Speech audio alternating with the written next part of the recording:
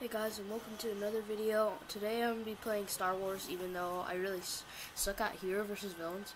So see I just died there because I just had to hide somewhere. Well okay.